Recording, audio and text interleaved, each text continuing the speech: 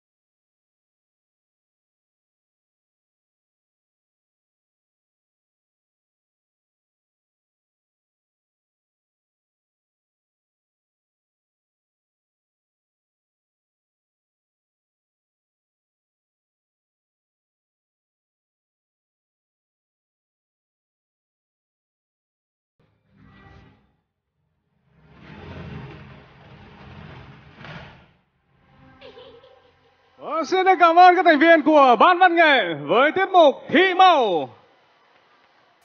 Vô cùng ấn tượng.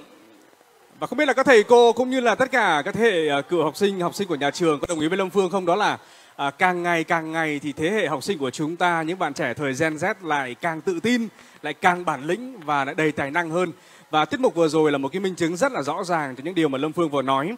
Ngoài về mặt âm thanh thì quá hay rồi, một sáng tác rất nổi tiếng gắn liền với Hòa Minzy thì chúng tôi cũng đánh giá rất cao cái sự sáng tạo và cũng như là cái sự chỉn chu và chuyên nghiệp của tất cả các bạn học sinh trong ban văn nghệ. Họ